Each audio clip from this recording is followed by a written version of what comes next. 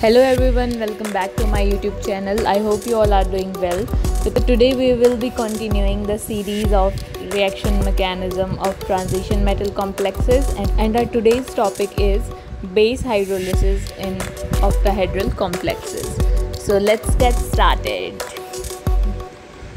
देखो base hydrolysis क्या होता है तो आपने एसिड हाइड्रोलिसिस में हमने क्या पढ़ा था कि जो हमारा अटैकिंग लीगेंड होगा या फिर जो भी हमारा अटैकिंग ग्रुप होगा, वो होगा वाटर लेकिन बेस हाइड्रोलिसिस में क्या होगा कि ओ एच नेगेटिव होगा हमारा अटैकिंग लीगेंड ठीक है?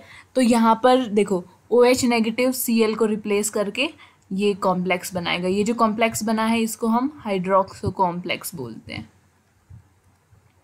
ठीक है? So, base hydrolysis reactions involve the formation of a hydroxo complex due to replacement of a ligand by hydroxyl ion. यहाँ पर ये हाइड्रोक्सिल आयन रिप्लेस कर देगा क्लोरीन को और फिर हाइड्रोक्सो कॉम्प्लेक्स बना लेगा। तो ऐसी जो भी रिएक्शंस होती हैं जिसमें हाइड्रोक्सो कॉम्प्लेक्स फॉर्म हो रहा है, जब एक लीगेंड रिप्लेस हो रहा है हाइड्रोक्सिल आयन से तो उसको हम बोलेंगे बेस हाइड्रोलिसिस ठीक है? अब जो बेस हाइड्रोलिसिस रिएक्शंस हैं, अब हमें इसके नाम में ही बेस आ रहा है, देखो। तो ये पीएच ग्रेटर देन टेन पे होती हैं। जो भी पीएच ग्रेटर देन टेन होगा, वहाँ पर बेस हाइड्रोलिसिस आप देख सकते हो कि उन सॉल्यूशंस में होंगी। ऐसे ही आपने एसिड हाइड्रोलिसिस में पढ़ा था कि पीएच लेस देन थ्री होना चाहिए और बेस हाइड्रोलिसिस में पीएच ग्रेटर देन टेन होना चाहिए। अब आप इसका मैकेनिज़्म प्रिडिक्ट करने के लिए आपको ये पता है कि जब भी हमें किसी रिएक्शन का मैकेनिज़्म जानना है तो या तो आपको उसके रेट कांस्टेंट के बारे में पता होना चाहिए या फिर रिएक्शन ऑर्डर के बारे में पता होना चाहिए। क्योंकि अगर ऑर्डर आपको पता है कि सपोज़ ऑर्डर वन है किसी भी रिएक्शन का तो वो एस एन वन के थ्रू हो रही है। क्योंकि रिप्लेसमेंट हो रहा है। पहले तो ये देखो, आप यहाँ पर लीगेंट का रिप्लेसमेंट हो रहा है ना? रिप्लेसमेंट हो रहा है। तो यानी कि सब्सटीट्यूशन हो रहा है। रिप्लेसमेंट मतलब सब्सटीट्यूशन ही तो होता है ना? तो ये जो बेस हाइड्रोलिसिस रिएक्शंस हैं, ये भी एक तरह से जो हमारी सब्सटीट्यूशन रिएक्शंस हैं, वो होती हैं। और न्यूक्लियोफाइल क्योंकि ओ एच नेगेटिव एक न्यूक्लियोफाइल है, इसलिए हम इसको सब्सटीट्यूशन न्यूक्लियोफिलिक यूनिमोलिकुलर रिएक्शन बोलेंगे, अगर ऑर्डर वन है, और अगर ऑर्डर टू है तो ये एस एन टू रिएक्शन हो जाएगी। ठीक है तो पहले हमें ये पता होना चाहिए कि ऑर्डर क्या है उस रिएक्शन का, या फिर रेट कांस्टेंट क्या है उस रिएक्शन का। ठीक है? अब देखो मैकेनिज़्म कैसे आपको पता है कि दो टाइप से मैकेनिज़म्स होते हैं, एक तो एसोशिएटिव और एक डिसोशिएटिव एसोशिएटिव में क्या होगा, इसके नाम से पता चल रहा है कि पहले आके जो हमारा अटैकिंग लीगेंड है,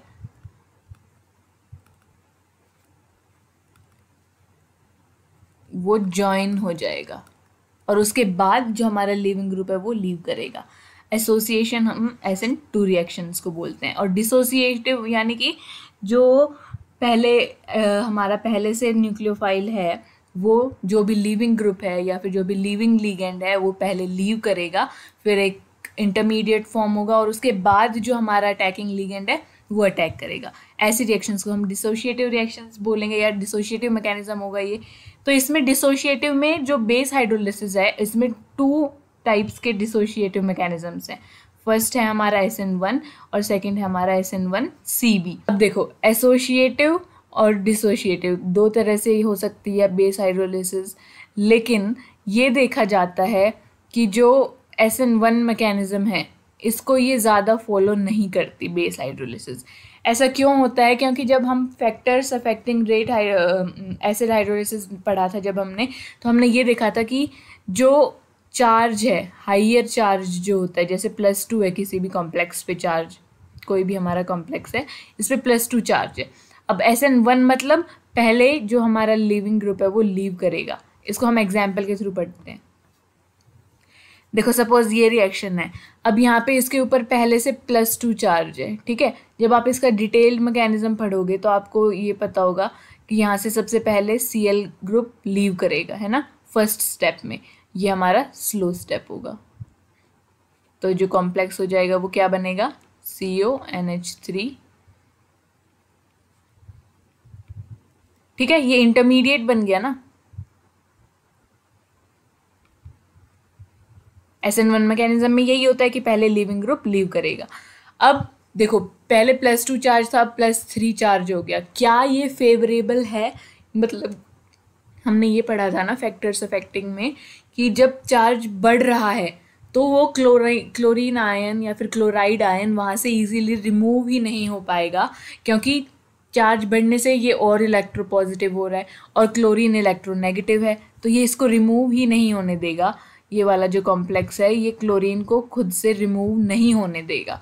तो ये जो कॉम्प्लेक्स है या फिर ये जो इंटरमीडिएट है, ये बनेगा ही नहीं। ठीक है? इसकी वजह से हम क्या बोलते हैं कि जो एस एन वन मैकेनिज़्म है वो base hydrolysis S N one mechanism के थ्रू नहीं होती है।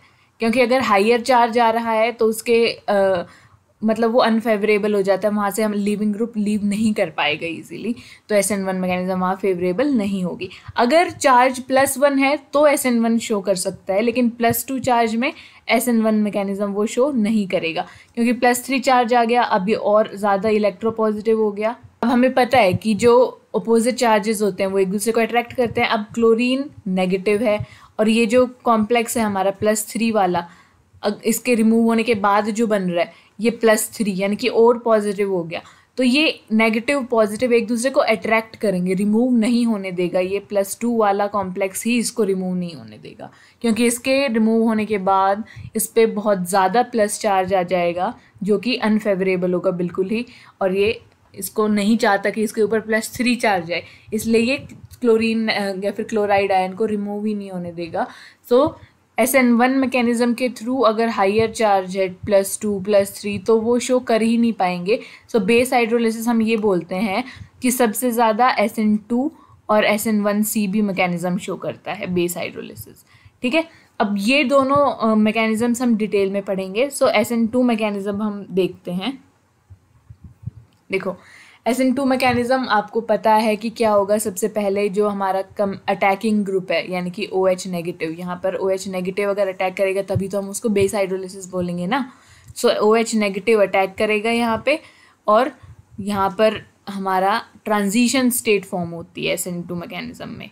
ये भी आप सबको पता होगा तो ये हो गई हमारी ट्रांजिशन स्टेट यहाँ पर क्या है, देखो, जो लीविंग ग्रुप है, यानी कि क्लोराइड आयन वो भी प्रेजेंट है, और जो अटैकिंग ग्रुप था, यानी कि ओ एच नेगेटिव जो लीगेंड है, वो वो भी प्रेजेंट है। तो अब ये दोनों अटैच्ड हैं ट्रांजिशन स्टेट में। फिर नेक्स्ट स्टेप में क्या होता है, कि यहाँ से क्लोराइड आयन रिमूव हो जाएगा, और ये हमारा प्रोडक्ट फॉर्म हो जाएगा। ठीक है? तो ये हो गया हमारा एस एन टू मैकेनिज्म अब इसका रेट लो देखो। रेट लो हम कैसे लिखते हैं? ये जो हमारा के हो जाएगा ये कांस्टेंट हो जाएगा। कॉम्प्लेक्स का कंसंट्रेशन यानी कि ये जो भी हमारा कॉम्प्लेक्स है, इसकी कंसंट्रेशन यहाँ आएगी और ओ एच नेगेटिव भी, की भी कंसंट्रेशन आएगी। क्योंकि ओ एच नेगेटिव को हम फ़र्स्ट स्टेप में ही तो ऐड कर रहे हैं ना तो इन दोनों की कंसंट्रेशन आएगी। अब देखो, क्या देखा जाता है कि अगर आप ओ एच नेगेटिव को हाई कंसंट्रेशन पे ले रहे हो तो हाई कंसंट्रेशन पे हमें पता है कि अगर कंसंट्रेशन ही हम हाई ले रहे हैं तो वो कांस्टेंट कंसंट्रेशन हो जाएगी एक टाइम पे। तो वो फिर रेट को अफेक्ट ही नहीं करेगी और रेट को अफेक्ट ही नहीं करेगी इसकी कंसंट्रेशन ओ एच नेगेटिव की तो ये एक तरह से हम इसको ऐसे बोल सकते हैं कि के और कॉम्प्लेक्स बस, ये बन जाएगा, क्योंकि हाई कंसंट्रेशन पे ये कांस्टेंट हो जाएगी इसकी कंसंट्रेशन ठीक है? तो ये अफेक्ट ही नहीं करेगी रेट को। अब यहाँ पर देखो कि रेट का जो भी हमारा इस रिएक्शन है, फिर इस रेट के अकॉर्डिंग क्या हो जाएगा कि जो हमारा ऑर्डर है वो फ़र्स्ट ऑर्डर आएगा। ठीक है?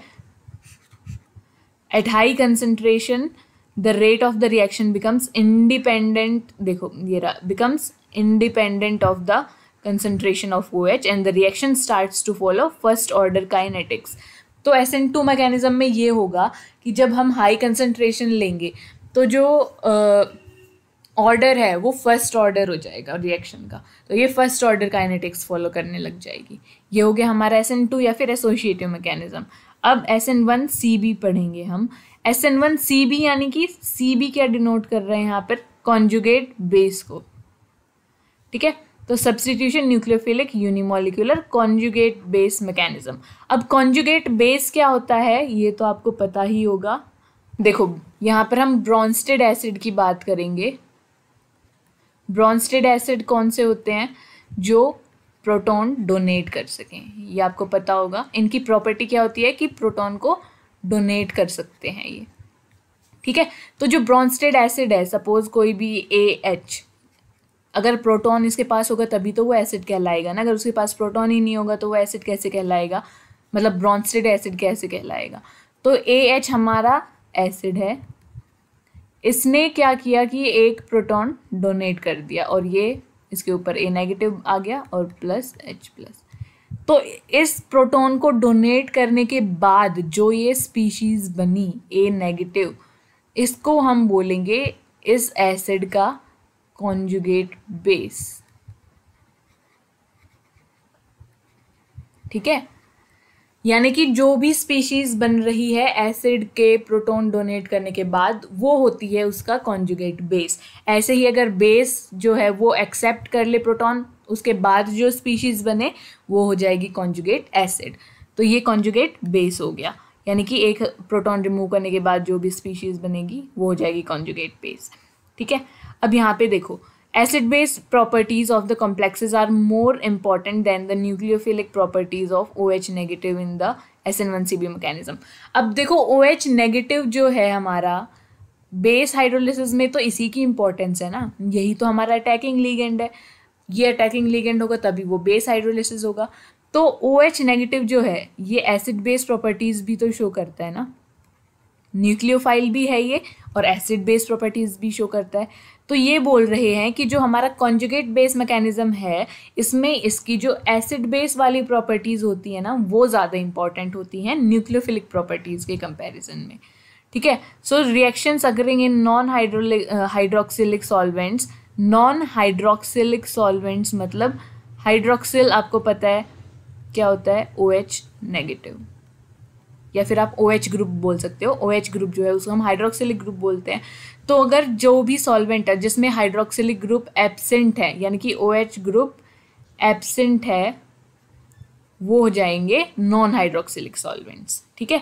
तो डाईमिथाइल सल्फोक्साइड इसका एक एग्ज़ाम्पल है। इसमें ओ एच ग्रुप नहीं है प्रेजेंट तो ये नॉन हाइड्रोक्सिलिक सॉल्वेंट हो गया। तो ये लोग बोल रहे हैं कि जो भी रिएक्शंस इन नॉन हाइड्रोक्सिलिक सॉल्वेंट्स में होती है, उसको हम S N one C B mechanism के थ्रू एक्सप्लेन कर सकते हैं। एस एन टू मैकेनिज्म के थ्रू एक्सप्लेन नहीं कर सकते। ठीक है? इसीलिए S N one C B पढ़ना भी ज़रूरी है। तो S N one C B में एस एन वन देखो एस एन वन तो कॉमन ही है। यानी कि जैसे हमारी एस एन वन रिएक्शन होती है टू स्टेप्स में वैसे ही ये रिएक्शन होगी।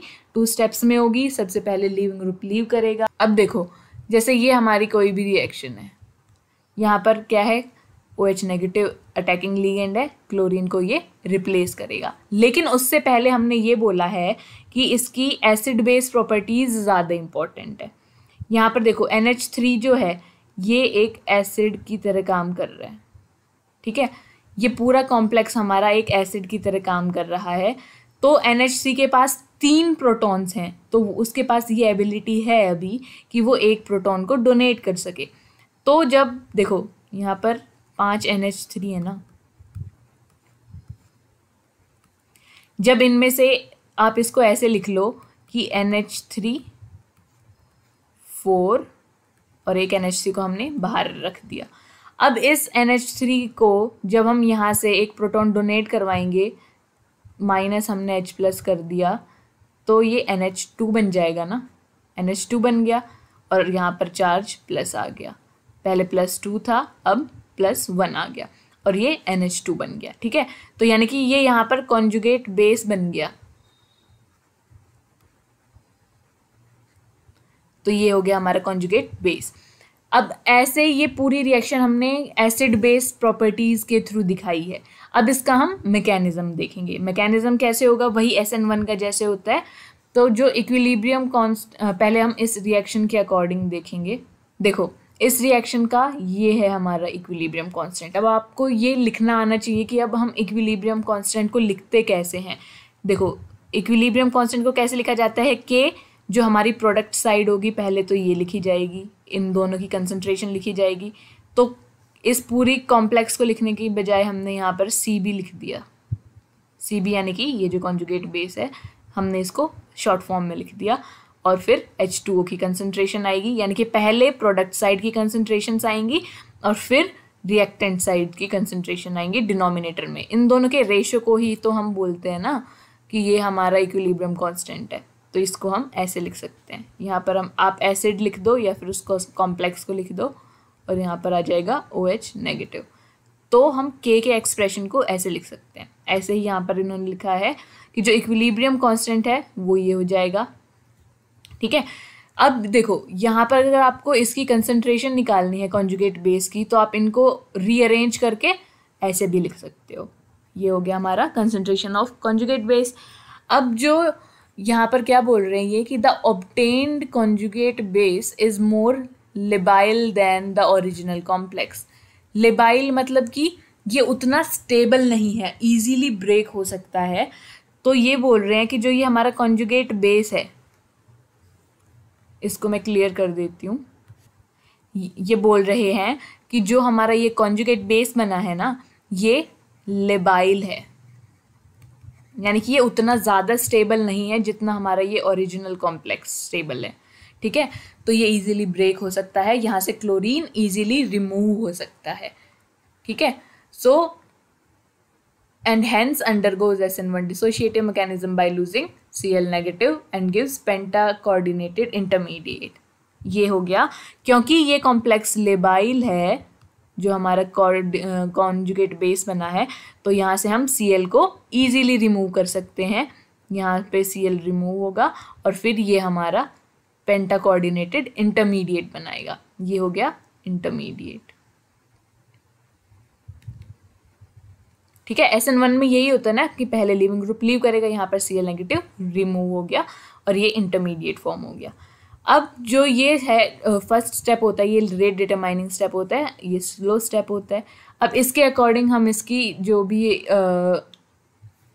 रेट होता है, उसको हम लिख सकते हैं। अब सेकंड स्टेप में क्या होता है कि जो हमारा ये इंटरमीडिएट बनाता है यहाँ पर अटैकिंग ग्रुप अटैक करेगा। अब देखो एच टू आप ये मत समझना कि पूरा एच टू ओ ही ऐड होगा क्योंकि हम बेस हाइड्रोलिसिस पढ़ रहे हैं तो एच टू ओ के दो कंपोनेंट्स होते हैं ना एक एच प्लस और एक ओ एच नेगेटिव तो यहाँ पर ओ एच नेगेटिव अटैक करेगा और तब जाके ये हमारा प्रोडक्ट फॉर्म होगा।